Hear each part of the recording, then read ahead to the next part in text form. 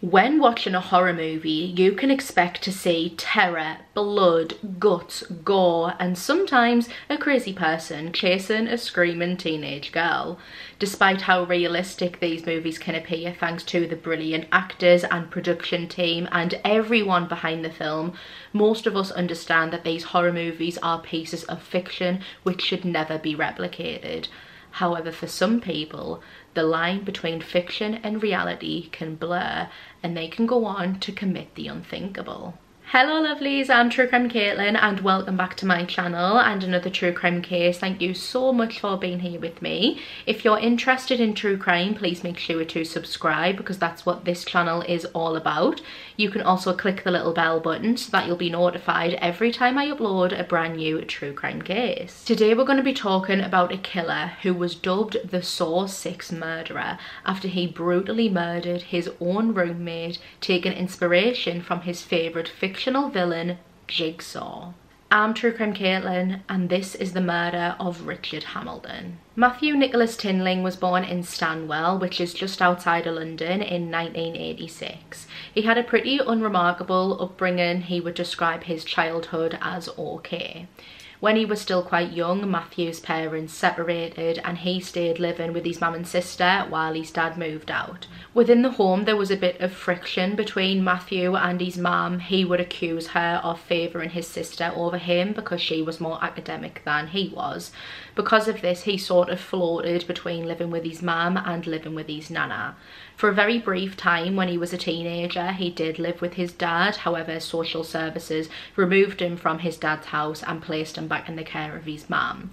I read a report that said this came after Matthew's dad had physically abused him. However, Matthew would later deny this in a separate report. He said that there was no sort of family violence or abuse. At school, Matthew was a part of the wrong crowd who introduced him into the world of drugs. By the time he was 13, he was already regularly smoking weed and as he got older, his drug use would only escalate. By the time he was 15 year old, Matthew had been expelled from school. He very briefly took part in some sort of college program, but he would leave that with no qualifications as well. He did pick up little jobs here and there. He worked as a bin man for a little bit and he also worked in a supermarket, but he was never able to hold down any of these jobs or any other jobs that he may have gotten and he eventually was living off of benefits. Matthew at this point though wasn't just a regular drug user, he was a full-blown addict. It wasn't just weed anymore though, he had begun abusing crack cocaine and heroin. He would do anything to get his fix, he would steal, he would spend every penny of his monthly benefits on drugs which ultimately left him homeless. His parents did try to intervene and they tried supporting and helping him but you just can't help someone who doesn't want the help and Matthew didn't. He was utterly consumed by his addiction and everything else in his life came secondary to it. After a while of trying to help and support Matthew, his family eventually had to stop.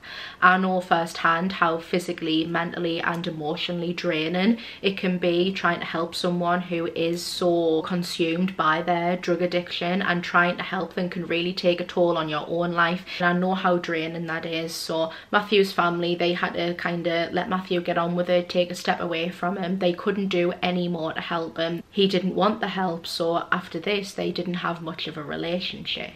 In August 2011, after living on the streets, 25-year-old Matthew was given an amazing opportunity. A charity were running a hostel where they would take in homeless people and addicts and they would provide them with accommodation. This was under the circumstance that they were going to receive treatment for their addiction and try to get clean. The hostel was based on Shirland Road in Maida Vale, London. And although in theory this was an amazing idea designed to try and help people get back on their feet for many of the residents being surrounded by other addicts where many of them are not even trying to get sober and where drugs are so easily accessible it wasn't beneficial for them on terms of their sobriety they now had a roof over their head but they were surrounded with temptation and were very much still in the clutch of their addiction Within the hostel, Matthew wasn't liked at all. He was very much the type of person where he would rather have control over you than actually be your friend. Other residents would describe him as an intimidating bully who was aggressive and antisocial. He was known to have a fixation, borderline obsession with horror movies. For him, the gorier and the scarier, the better. And I'm just going to intervene here quickly and say that I am in no way insinuating that Matthew's love of horror movies is what caused his upcoming actions. Enjoying horror, whether it be in a movie, a TV show, a game, a book, is totally fine. I enjoy them as well. It's totally fine when you understand that it is fiction, that it shouldn't be replicated, and when you're in the right headspace for it. I just wanted to quickly clarify that. Matthew's favourite horror movie franchise was the Saw franchise. He was obsessed and he would religiously watch these over and over and over.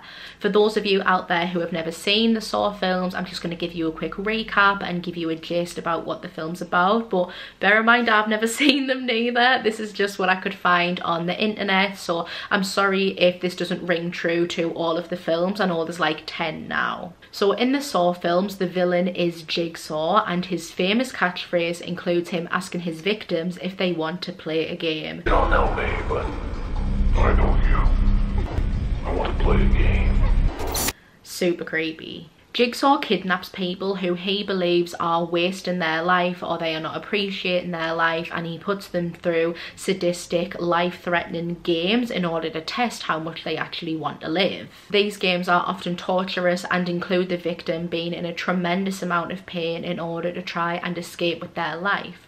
So in the films, Jigsaw has complete control over his victims. He can get them to do anything that he wants and Matthew admires that. He is a person who wants control over everyone. In October 2011, a new resident moved into the hostel.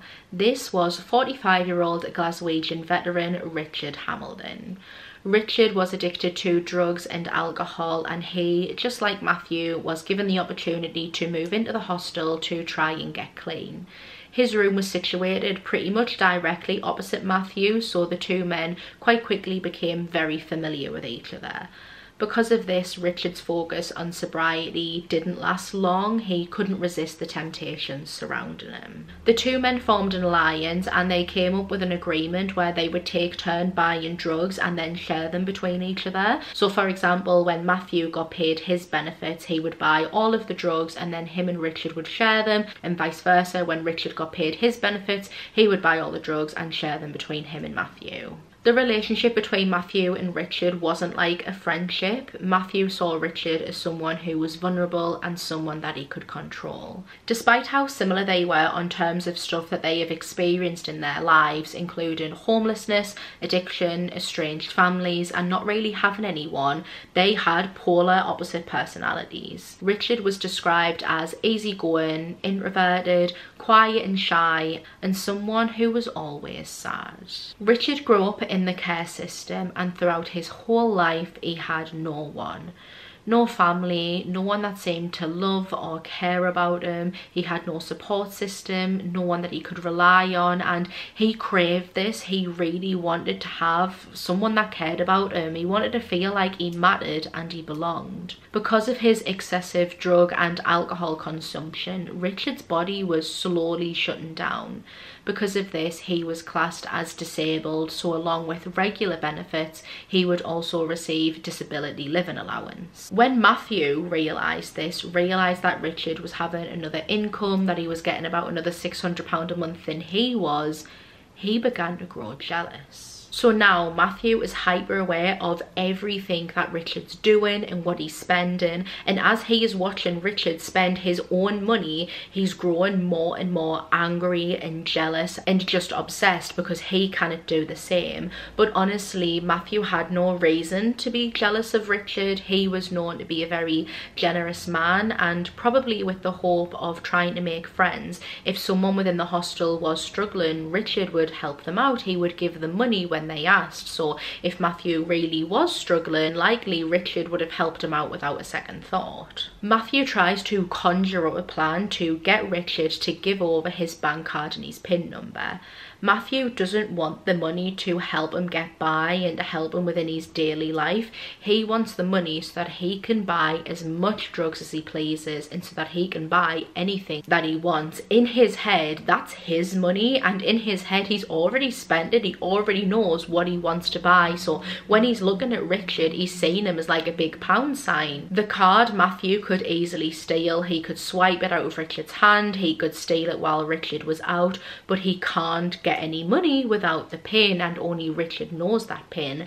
So Matthew decides he's going to do what he does best and try to bully and intimidate Richard into giving them both over. Matthew would begin to push and shove Richard at any opportunity that he could. He would shout and scream at him, trying to humiliate him. And another resident actually recalled the time when he had witnessed Matthew punching Richard in the head this resident pulled Matthew and said like what was all that about he asked him why had he just done that and Matthew said it was because he was sick of Richard's attitude Matthew done a lot of this type of stuff to pretty much everyone in the hostel. Everyone was cautious of him and everyone just tried to stay out of his way. Again, he was a very intimidating bully.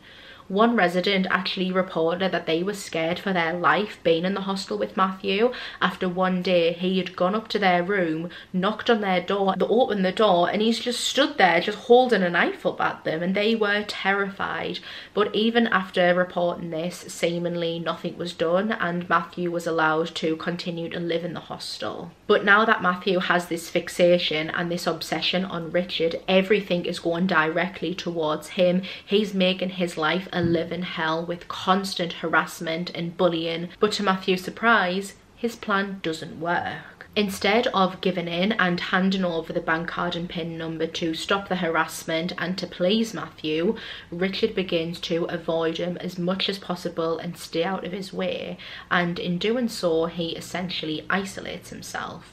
Richard very sparsely leaves his room and when he does it's either in the dead of night or when he knows that Matthew is out. Although Richard is cooped up in his room pretty much 24 7 he is still the only thing on Matthew's mind and the fact that Matthew can't get to him to continue to try and bully him into giving his bank card and pin number over he's getting more and more agitated and angry. He is not forgetting about Richard and he is not forgetting about the bank card and money. For Matthew it's not out of of sight, out of mind. Richard is the only thing on his mind constantly and it's driving him up the wall because he's thinking about how much drugs he should be able to have, how high he could be right now if Richard would give him the money. And in doing so, he's getting himself more and more angry with Richard who is doing nothing wrong.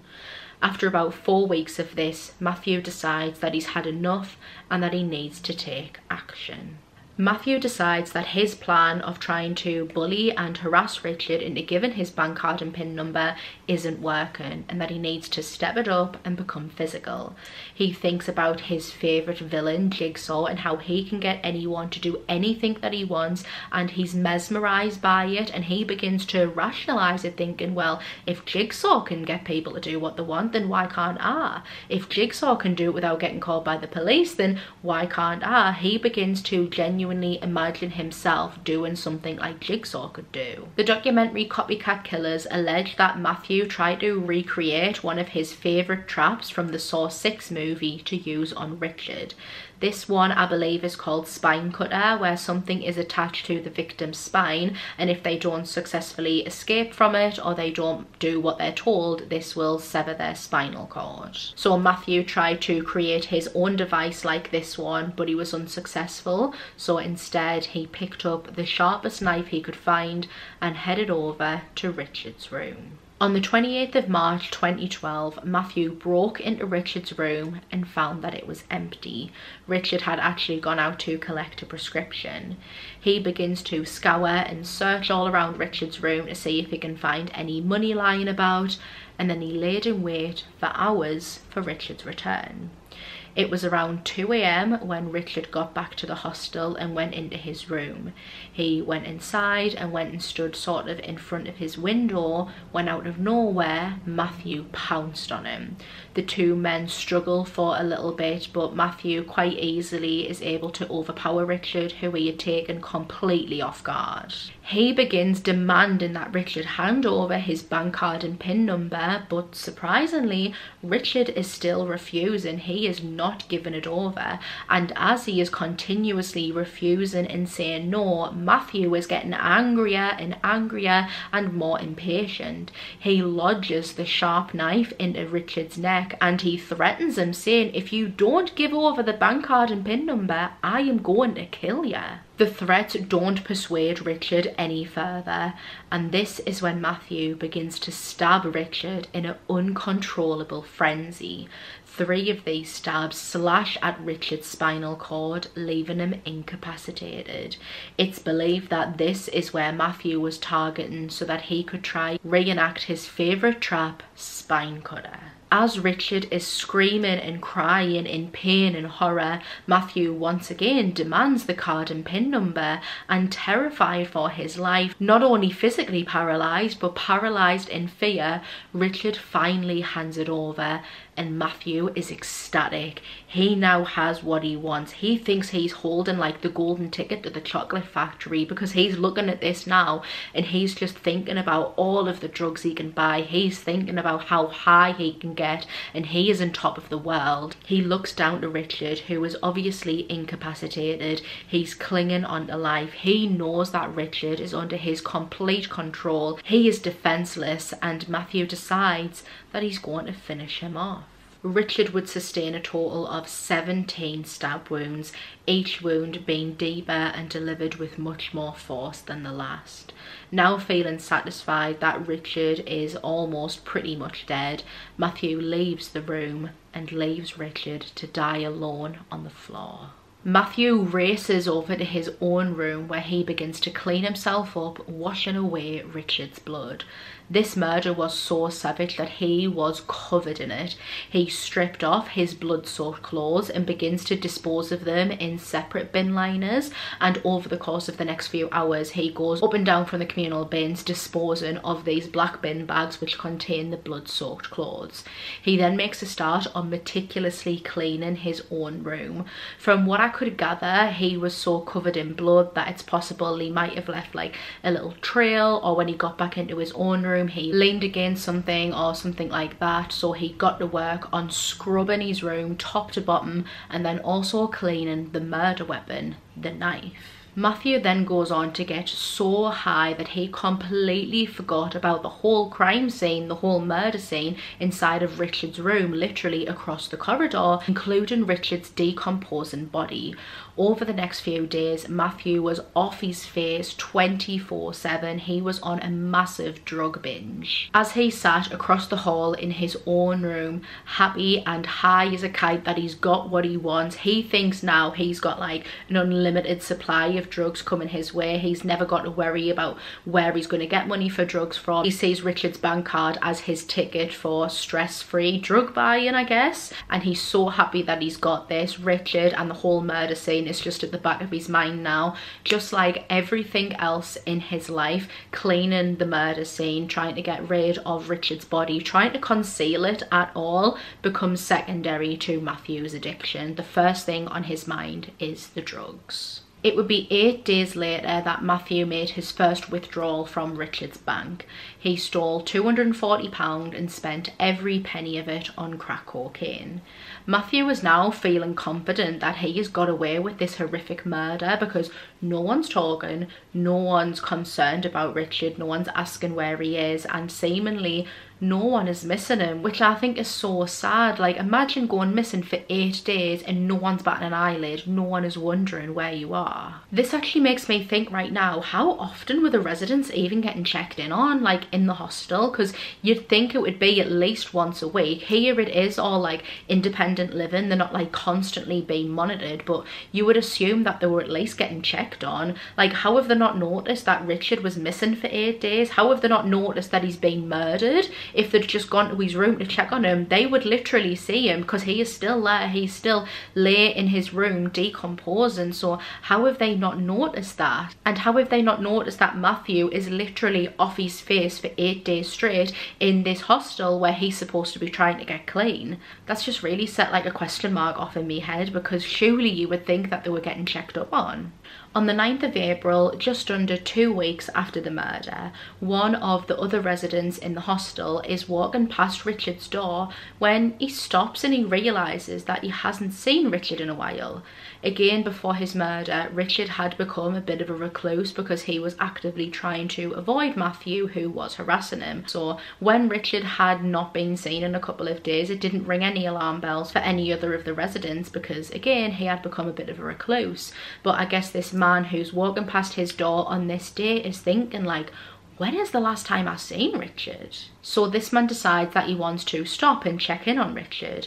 He knocks on the door but gets no answer. He then calls out to Richard like, Richard, it's me. Are you in there? Are you okay? But again, he is just met with nothing. There is silence from inside the room.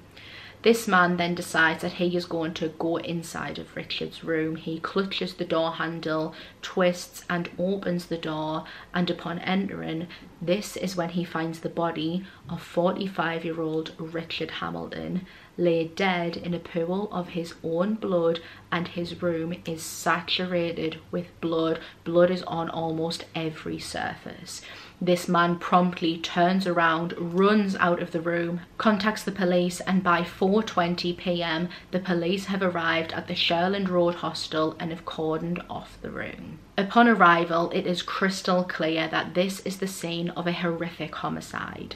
CSI begin to process the scene. They're looking for blood, fingerprints, DNA, basically anything that they can so that they can compare this to Richard. And if there is any foreign blood, hair or DNA, this will aid them and help in helping finding Richard's killer. They're pretty confident that they're going to find something because this is such a horrific scene. The murder seemed to be so brutal. So they're thinking that there's no way that the killer managed to do all of this and not leave anything behind. But there's also the fact that it looks like there's been no efforts to clean up the scene at all. So in a way the scene has been perfectly preserved and there's been no tampering of evidence whatsoever. So they're thinking that they know that the DNA is in here. They know that the answer to who killed Richard is inside this room. They just need to find it in the meantime, detectives are getting to work talking to all of the other residents in the hostel and they hear some very disturbing stories about one resident in particular.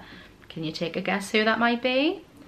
Of course, it is Matthew Tinling. Detectives learned that over the past few weeks, Matthew had been relentlessly bullying and harassing and targeting Richard. However, more recently, i.e. the past few days, he had been making threats to kill other residents and saying that he had already killed someone before and describing how he had done it in graphic detail. While relaying how he had already killed someone, Matthew was said to have relished in reliving it and he got excited excited, he went into minute detail, not leaving anything to the imagination. I believe that there was two separate incidences where Matthew had threatened to kill another resident after Richard had been murdered. Investigators realise that Richard's bank card appears to be missing, so his wallet is sent off for analysis and they go and check his bank to see if his card has been used or if anything looks different, and it does. From what I could gather, Richard was very consistent in withdrawing his money on payday. So when he got paid, he would go and draw the money out. It never sort of built up in his bank account. However, within the last eight days or so, he had had two separate payments, both of which weren't taken out. And then he had a big chunk of money, £240 withdrawn, which struck them as an anomaly. Investigators gathered and combed through CCTV in the surrounding areas. The hostel didn't have a CCTV camera that was pointing directly onto that. However, there were a couple more in the surrounding areas that kind of showed the hostel a little bit. So police sat and they combed through and they watched them. On one of the cameras, it captures Richard returning back to the hostel on the 28th of March. And the way that this camera is set up, you can see Richard's bedroom window. Again, it's not pointing directly onto it, but it is just in the frame. When investigators are watching this footage, they see at around 2am there seems to be some sort of commotion going on in Richard's bedroom because his curtains are flapping away and they're flapping away for a couple of minutes until they just abruptly stopped and it's believed that this is when Matthew pounced on Richard, attacked him and ultimately killed him. An examination of the curtains would find that there was two sets of DNA extracted from blood splatter that had splashed onto the curtains. This DNA belonged to Richard Hamilton and Matthew Tinling. Matthew's fingerprints were also found on Richard's wallet and a CCTV camera had captured him when he was doing those many trips up and down from the bins when he was disposing of the blood-soaked clothes. I believe that by the time the police are discovering this, the bins had long been emptied and trying to trace down those black bin bags to see what would have been inside would have been almost impossible. With all of this evidence, police arrest 25-year-old Matthew on suspicion of murder. His trial began at the Old Bailey in 2013 where he entered a plea of not guilty. Throughout the trial it was said that he showed no remorse and he was emotionless. He would go on to be found guilty of the murder of Richard Hamilton and was sentenced to life imprisonment with a minimum of 30 years to serve. The judge commented to Matthew saying, quote, You inflicted 17 wounds during the attack, the most serious of which was delivered specifically with the intention of severing the spinal cord, thus to cause paralysis and death, exactly as you had seen on a DVD. Whether or not that was source 6 found by the police in your room or another series doesn't matter. Plainly, it was something you had seen and tried to imitate. In 2016, Matthew was yet again back in a courtroom faced with an attempted murder charge. While serving his time at HMP Woodhill, he and one of his fellow inmates who he had befriended, a man named Jason Gomez, who was also a convicted killer, had used sandpaper to sharpen a toilet brush to create a weapon. They then attacked one of their fellow inmates, stabbing him in the neck, in the torso and in the eye. During this trial, he and Jason just did not take it seriously at all. Jason would tell the judge that he was the good looking one and Matthew would laugh saying he has been a very naughty boy. Only very recently, Matthew has yet again had his minimum term sentence extended. This means that he won't be able to apply for parole until 2062 and he'll be about 76 years old. This came after he attacked a prison guard. He had hidden a shank in his mouth and stabbed this prison guard in the neck trying to kill them. And that is today's case. So what do you all think? Was Matthew inspired by the horror movies and that's why he went on to commit murder? Was watching horror movies the thing that put the idea in his head or was he just evil and would he have committed murder in any ways? Comment down below and let me know what you think. I am always super interested to know what you all think. Thank you so much for sitting and listening with me today. If you haven't already, please make sure to subscribe and to click the little bell button so that you'll be notified every time I upload a brand new true crime case. I also cover true crime in shorter form over on my TikTok. You can find the link for that in the description box below. I also have a Google form doc down there, so if you have any cases that you'd like me to cover on my YouTube channel, make sure you go and fill that form out. I do not take requests from the comments of the videos. If you have enjoyed this video, please make sure to give it a thumbs up. That would really help me out. And if you want to hear your more true crime cases covered by me, I have plenty on my channel that you can go ahead and watch right now. So yeah, I'm going to leave today's video at that. Thank you all so much again for sitting and listening with me today. You know I'm so, so grateful for all of your support and I will see you all on my next one.